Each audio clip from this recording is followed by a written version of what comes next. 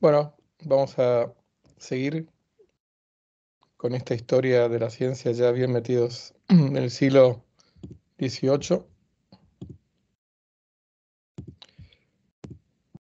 Estuvimos viendo en este, la clase anterior la vida y los aportes, o parte de los aportes de Euler. Vamos a seguir. Este,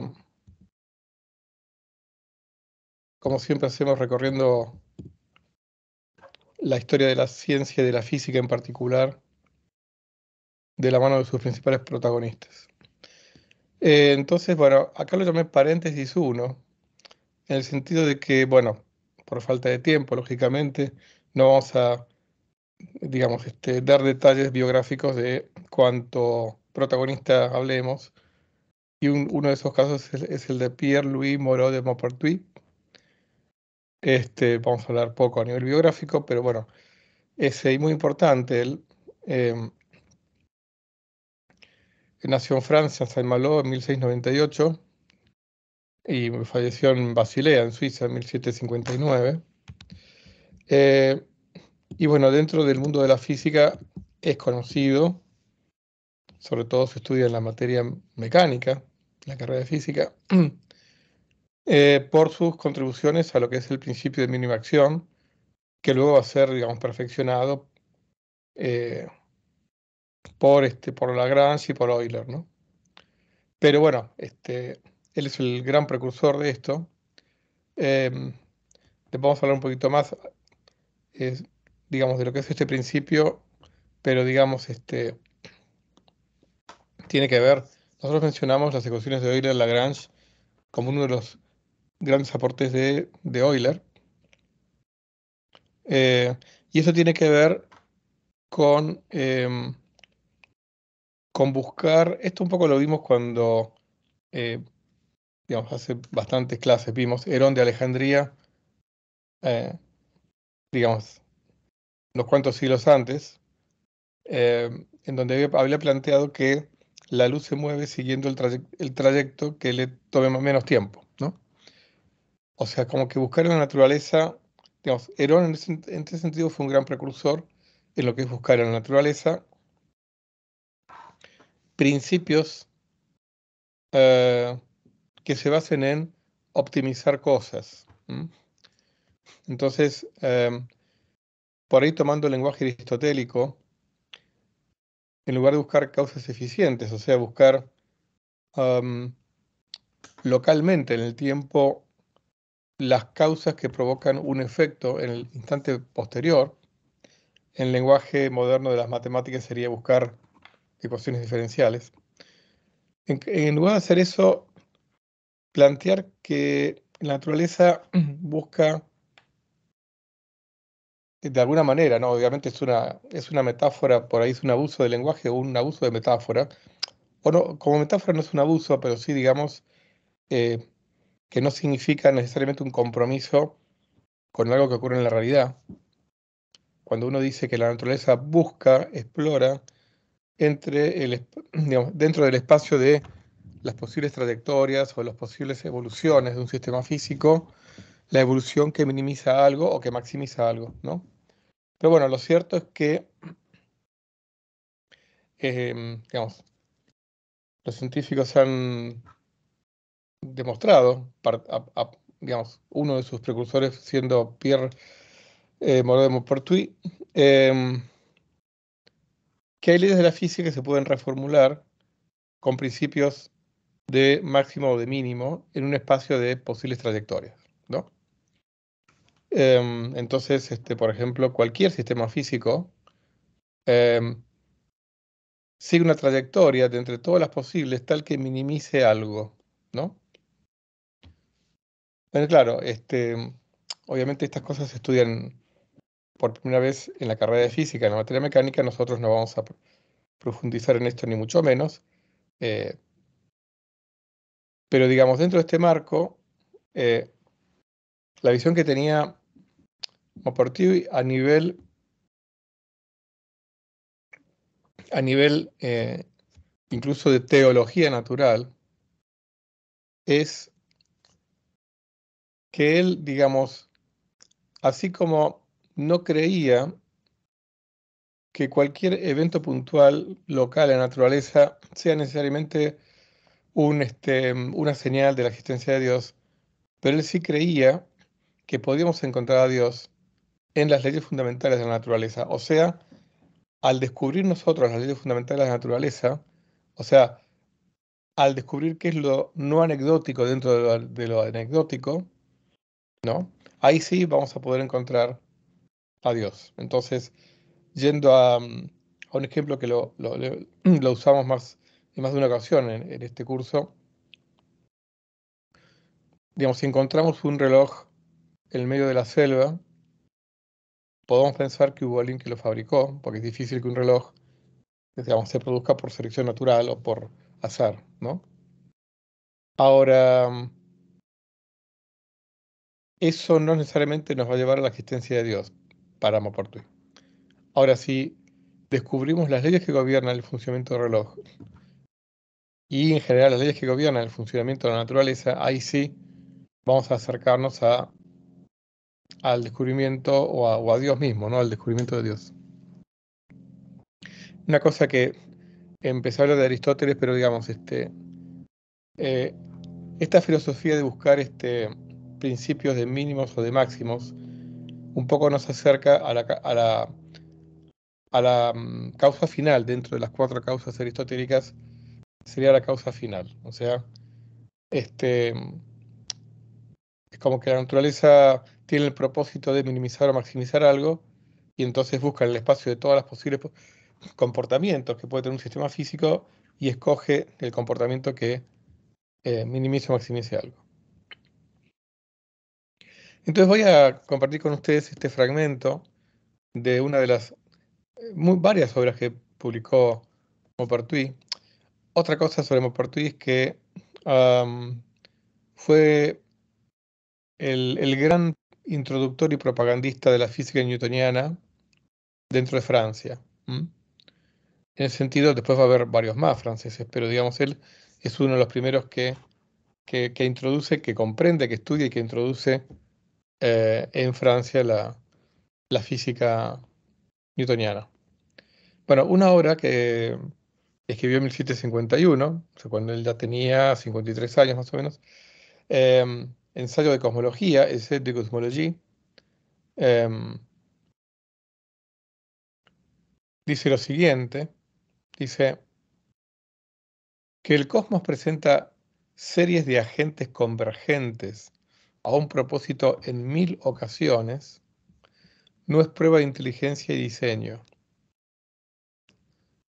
Destreza en la extensión no es suficiente. El propósito debe ser racional. O sea, un poco acá está diciendo lo que anticipamos, ¿no? O sea, eh, eh, encontrar agentes que convergen a un propósito en mil ocasiones no alcanza. Dice, el propósito debe ser racional. La organización de los animales, la inmensidad de los cuerpos celestes, sus distancias y revoluciones se ajustan más para asombrar a la mente que para iluminarla. O sea, vuelta a lo mismo, ¿no? No encontramos a Dios ni a una inteligencia ni a un diseño universal en, este, en, maravillas locales, digamos, ¿no? Por más que nos asombren o asombren a nuestra mente. Dice, busquémosle, busquémosle a Dios, ¿no? En las leyes fundamentales del cosmos, en esos principios universales de orden, que subyacen al todo más que en los complicados resultados de esas leyes. Parafraseándolo en términos modernos diríamos, busquemos a Dios en las leyes de la naturaleza o en las ecuaciones de la física, por ejemplo, y no tanto en las soluciones a las ecuaciones de la física. Eso sería un poco el resumen de la visión de Maupertuis. Eh, este principio em, se conoce hasta el día de hoy como el principio de mínima acción y acción es esa cantidad que la naturaleza busca minimizar eh, cuando a la hora de elegir qué trayectoria va a seguir un sistema físico. ¿no? Em, bueno, esa acción se define como, esto no tiene por qué entenderlo, es simplemente un comentario anecdótico, eh, o de cultura general, si quieren, como una integral, o sea, como una, una suma infinitesimal, digamos, eh, sobre la trayectoria de un sistema físico, en donde se, pondera, digamos, la diferencia entre la energía cinética y la energía potencial. Lo que busca la, el principio de mínima acción nos dice que la naturaleza busca minimizar algo así como el promedio temporal de la diferencia entre las energías cinéticas y potencial de un sistema físico. ¿no? y esto, bueno, el gran precursor fue este señor del cual estamos hablando ahora. Bueno, está un, ah, está un poquitito más, un poquito más este, graficado esto. Eh, varias de las obras de, Maupertuis este, tienen mucho de, autobiografía. Él, cuenta mucho sobre su, bueno, sus, eh, formas, sus eh, caminos para llegar a sus resultados. Bueno, una de las cosas que cuenta es que, bueno, él fue un gran admirador de Leibniz, de gran filósofo alemán, que sostenía que vivimos en el mejor de los mundos posibles. Eh, o sea que de entre todos los mundos posibles que pudo haber creado Dios, posible significa, entre otras cosas, para Leibniz, consistentes lógicamente, que no tenga contradicciones. Eh, Dios creó el mejor de los mundos posibles. Esta idea la toma Maupertuis y él dice que se inspira un poco en ella para, a la hora de, descubrir su principio variacional, variacional, porque bueno, les cuento para los que no saben que eh, el, eh, digamos, la, rama de la matemática que estudia cómo hacer para buscar mínimos o máximos de una en el espacio de trayectorias, que es un espacio funcional, un espacio de trayectorias, lo que, lo que hay que hacer es em, aplicar lo que se llama el cálculo variacional, o sea, hacer pequeñas variaciones en el espacio de trayectorias o de funciones y, de, esa manera buscar cuál trayectoria minimiza o maximiza determinada cosa que uno quiere encontrar su extremo. Eh, bueno, esto es un grafiquito de... Eh, este, esta L que está acá tiene que ver con esta diferencia, se llama Lagrangiano, es la diferencia entre las energías cinética y potencial. Este símbolo es el símbolo integral, que es como una sumatoria infinita, infinitesimal. Esto es un intervalito de tiempo, entonces uno busca, eh, digamos, en el espacio uno busca, digamos, dado una configuración inicial y una configuración final del sistema físico, uno busca cuál de todas las trayectorias posibles que puede seguir el sistema físico, uh, cuál es aquella que minimice esta suma. Bueno, eh, en el caso de, por ejemplo, de, la trayectoria de un rayo de luz, o incluso la trayectoria de una partícula que se mueve libre de fuerzas, la trayectoria que minimiza esta cantidad es esta línea recta. ¿no?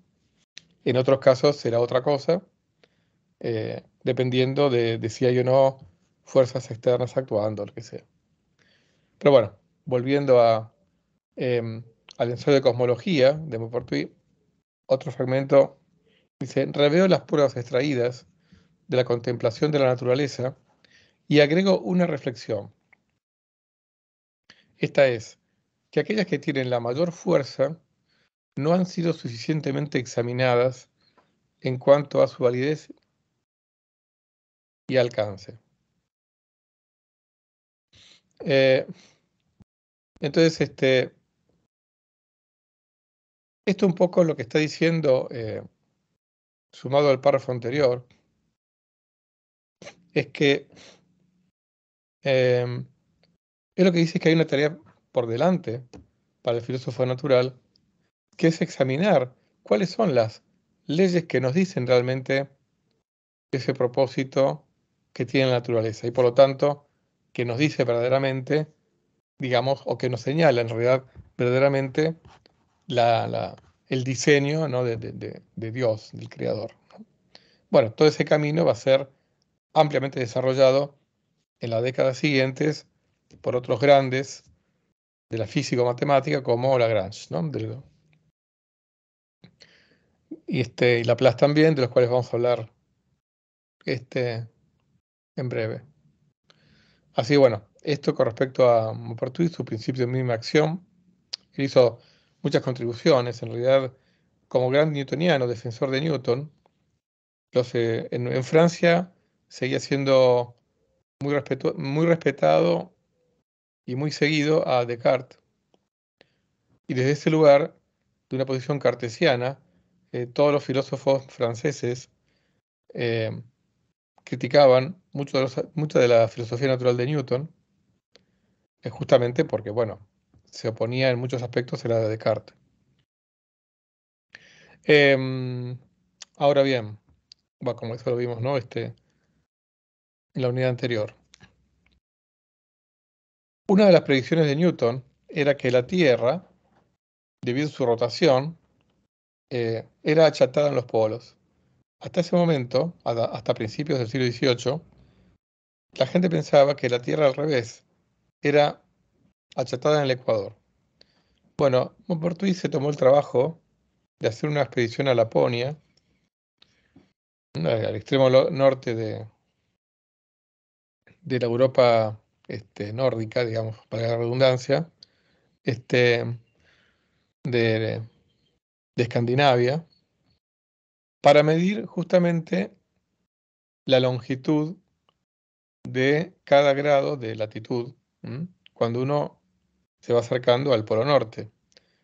Por supuesto que en una Tierra estrictamente esférica, eh, la longitud de cada grado, la longitud, digamos, en, kilómetros, en millas, lo que sea, es constante. Ahora, si la Tierra es achatada, ya sea en el polo o en el ecuador, la, longitud de cada grado de latitud va a variar conforme nos acercamos al polo. ¿Mm? Eh, bueno, y lo que confirmó Maupertuis después de su expedición es que efectivamente Newton tenía razón y la Tierra es achatada en los polos. esa es otra de sus grandes contribuciones.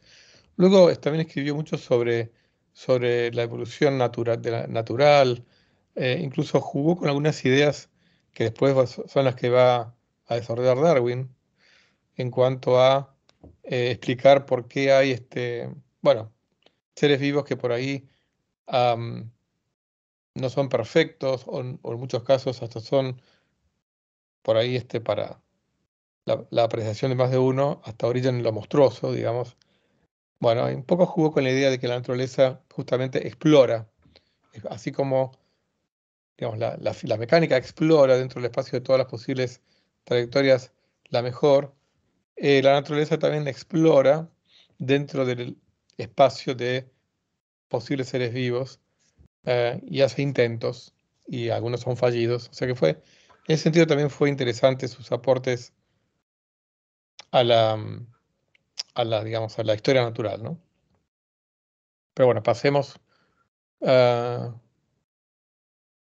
un poquito, vamos a justamente hablar ahora un poquitito a, de Leibniz, uh, que también no, no, nos vamos a detener en su larga, prolífica biografía, tanto intelectual como biografía en general. Uh, por eso lo llamo paréntesis 2. Y también dentro de este esquema de, cómo va evolucionando el clima de época, digamos, a nivel de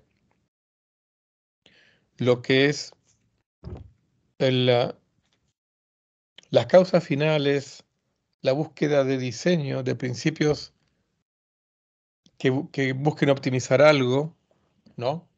Como es algo que va a estar apareciendo varias veces en el siglo XVIII. bueno, en el caso de Leibniz es muy, muy claro por este, esta idea tan importante de él, que es una de las tres o cuatro, digamos, más famosas de sus ideas, que es que vivimos en el mejor de los mundos posibles, ¿no?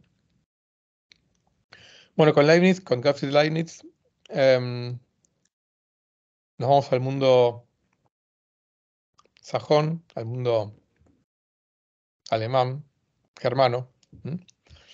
él eh, nació en Leipzig, 1646, es anterior a Maupertuis, en realidad, en lo que era el electorado de Sajonia, y falleció en Hannover, en 1716, en lo que era el electorado de Brunswick-Lüneburg.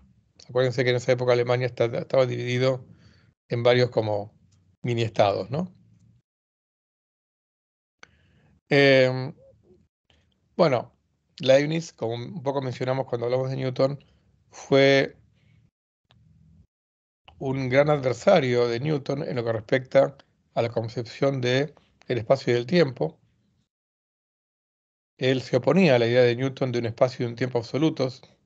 Él consideraba que tanto el espacio como el tiempo son, como para decirlo en lenguaje moderno, contemporáneo, eh, como mm, entes emergentes, ¿no?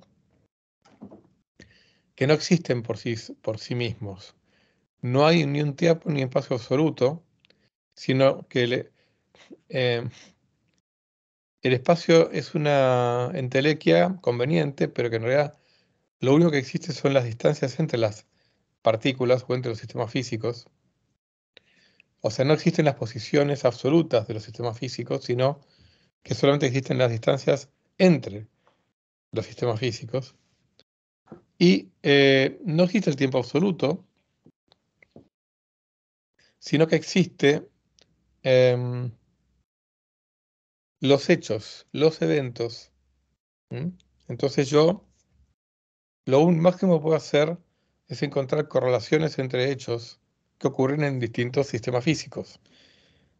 Y cuando yo digo voy a fechar un evento, lo que estoy diciendo es correlacionar eventos de los sistemas físicos. Entonces, cuando yo digo em, me, soné la, me la nariz a las nueve y media de la mañana, significa cuando me soné la nariz, mi reloj marcaba nueve y media.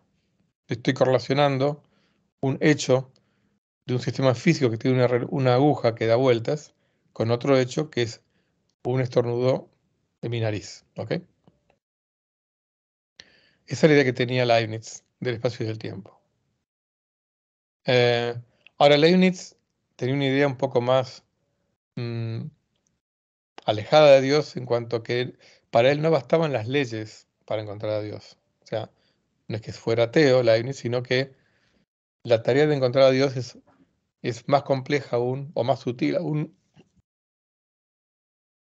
que la de buscar las leyes que gobiernan el, el comportamiento de la naturaleza. Eh, él también eh, tenía la idea de... Eh, él, formuló varios principios. Otro es el principio de razón suficiente, o sea, que nada ocurre porque sí, todo ocurre por una causa. y bueno, por supuesto que el de la mayor perfección es una razón suficiente, ¿no? Entonces, para él, digamos, eh, no hay ninguna, ninguna ley de la naturaleza de por sí, ninguna ley en general, que sea necesaria por el solo hecho de ser metafísicamente necesaria, sino que son cada una de las leyes que rigen al mundo, son eh, tienen la característica de ser la más perfecta. Entonces, por ejemplo, ¿no? Em, el principio de continuidad del movimiento, que como vimos eh, desde Aristóteles, fue el primero que lo formuló explícitamente, ¿no? Es decir, argumentó por qué el movimiento, como el tiempo y el espacio, tienen que ser continuos. Eh, hay un fragmento que voy a compartir con ustedes, que es de una carta que le escribió a De Boulder, un intelectual de esa época. Eh, esto está mm, en una obra compilada por este, Gerhard en la década del 1960, que se llama Los escritos filosóficos de uh, Leibniz, ¿no? Die Philosophischen Schriften von Leibniz. Eh, en este caso es una carta en donde se refiere al principio de continuidad del movimiento, de, en general de los sistemas físicos. Dice, La hipótesis de los saltos no puede ser refutada sino mediante el principio del orden, por la ayuda de la suprema razón que hace todo de la forma más perfecta. ¿no? Eh, acá que nos está diciendo, ¿no? En realidad esto, eh, para entenderlo habría que leer todo, más, más, parte de la carta, pero yo se los voy a explicar un poco. Tiene que ver con si hubiera una longitud mínima del espacio o del movimiento mismo, debería haber una razón suficiente por la cual ese salto mínimo o ese cambio mínimo sea el que es y no otro. Y para Leibniz es inconcebible que haya una razón suficiente para la cual el tamaño mínimo de un salto sea tal y no tal, y no, tal otro. Eh, esto, por supuesto, se aplica también, y es un poco también lo, lo señaló Aristóteles, como vimos hace mucho, en cuanto a por qué el espacio es continuo. O sea, no habría, no habría un motivo, no, no había razón ¿no? para que el tamaño mínimo del espacio fuera de un milímetro o de un micrón o de un nanómetro, ¿no? o de un femtómetro. O sea, eh, con lo cual lo más sensato es suponer que el espacio es continuo. Bueno, por supuesto que para em, Leibniz, como ni el espacio ni el tiempo absolutos existen, acá nos está hablando de los cambios, entonces, eh, o del movimiento en particular. Entonces, este, el, no, no puede tener saltos el movimiento. Por supuesto, ¿qué sería movimiento para Leibniz? Bueno, por ejemplo, un cambio en la distancia entre dos objetos. Eso sería un movimiento. Para Leibniz no tiene sentido preguntarse si hubiera solamente dos partículas en un universo que se alejan, no tiene sentido preguntarse si es cuál de las dos está quieta y cuál se mueve. Porque como no existe el espacio absoluto, es una pregunta sin sentido. Lo único que tiene sentido es decir, o se alejan, o permanecen en la misma distancia, o se acercan las partículas. Em, otra idea importante tiene que ver con la idea de causa común. Este, este fragmento de eh, una obra mm, llamada Refutaciones de Spinoza. Eh, esto bueno, fue editado en inglés, eh, no sé si hay edición en español, pero bueno, a fines del siglo XIX, en una compilación de obras de Leibniz llamadas Trabajos Filosóficos de Leibniz. Dice, esta armonía perfecta de tantas sustancias que no tienen comunicación entre sí, solo puede venir, de una causa común.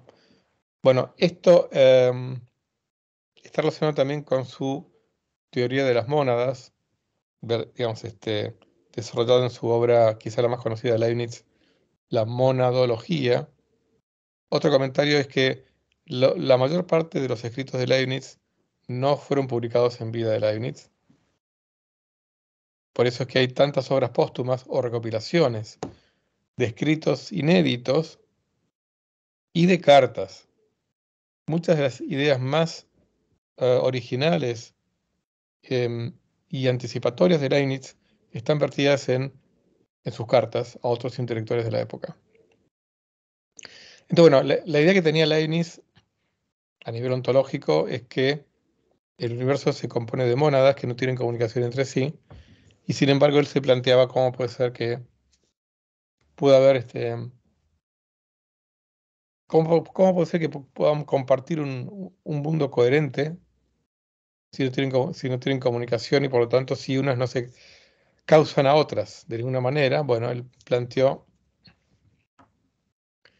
la idea de que todos tienen una causa común. Es como algo, una, una causa común que es lo que hace que todas las mónadas que no se comunican entre sí comparten ese, ese mundo, ¿no? Eh, y esto es, anacrónicamente a, a nosotros nos recuerda a uno de los grandes misterios que tiene la cosmología moderna, que es por qué regiones que aparentemente no tuvieron tiempo de estar en contacto causal entre sí, como pueden ser antípodas en el, cielo que nos rodea, antípodas lejanas, ¿no? Por ejemplo, concretamente, lo más lejano a lo cual nosotros tenemos acceso es el fondo cósmico de radiación, que es la primera luz que fue emitida eh, después de la época de, que, el universo estaba todo caliente, o sea, después del entre comillas Big Bang. ¿no? Esa luz lleva, hasta donde queremos, unos 13.800 millones de años viajando. Ahora, si nosotros miramos en direcciones opuestas, la temperatura de esa, de esa luz es la misma. Sin embargo, regiones que están separadas por 180 grados en el cielo nunca estuvieron en contacto causal no hay ninguna radio ningún rayo de luz que tuvo tiempo de, en viajar desde un punto eh, en el cielo hasta su antípoda en el cielo.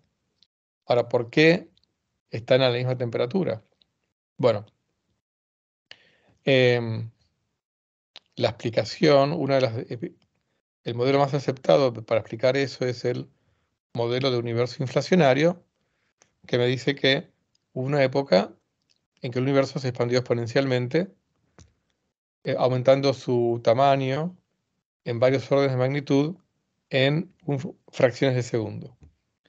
Entonces, con ese mecanismo, regiones que estaban muy cerca entre sí y por lo tanto habían estado en contacto causal, luego de esa expansión exponencial pasaron a estar increíblemente lejos entre sí, ¿no? Ese increíblemente lejos incluye regiones tan lejanas como las que nos envían eh, esos rayos del fondo cósmico de radiación desde antípodas del cielo. Entonces, regiones que no pudieron estar en contacto entre sí, en realidad tuvieron contacto o fueron influenciadas eh, en una etapa muy antigua en donde el universo era increíblemente más chiquito de lo que hay ahora. Bueno, esto se lo cuento como anécdota de por qué a uno le puede recordar a esto, aunque obviamente en principio no tenga nada que ver. ¿no? Bueno, y eh, más allá de, em, de, esta idea, este, este teísmo de, de estos filósofos, bueno, Leibniz alcanzó a, vivir unos años en el, siglo XVIII, pero esta idea de, que Dios no interviene constantemente para mantener las leyes de la naturaleza em, se va a ir afianzando. O sea, em, la idea de que el universo obedece leyes y por lo tanto es determinista, no le da cabida a una intervención constante de Dios. Entonces, por más que Newton sí pensaba que ocasionalmente Dios intervenía, Leibniz no va a creer eso. Leibniz cree en un universo determinista que sigue leyes, ah, que son las más perfectas posibles, pero no desde el lugar del ateísmo, sino de una especie de deísmo. Leibniz descartaba que Dios interviniera constantemente. Y bueno, entonces en relación a al tiempo, lo que dice Leibniz es que el tiempo, esto es un fragmento de em, su obra Fundamentos Metafísicos de la, de la Matemática. Como verán, bueno, aparte les comenté en su momento que Leibniz desarrolló en paralelo a Newton eh, el cálculo diferencial integral, o sea que además era un gran, un gran este, matemático. Lo que dice Leibniz es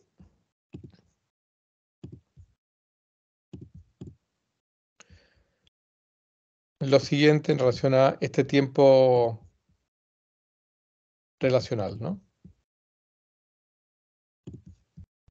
El, el, tiempo es el orden de existencia de las cosas que no son simultáneas. Así, el tiempo es el orden universal de los cambios cuando no tenemos en cuenta las clases particulares de cambio. Por supuesto que no es fácil de entender esto, pero tiene que ver con, por un lado, no hay un ritmo universal, no hay un tiempo universal, no hay un latido universal, sino que hay latidos locales. Esos latidos locales, esos ritmos locales, se dan en cada acontecimiento. Eh,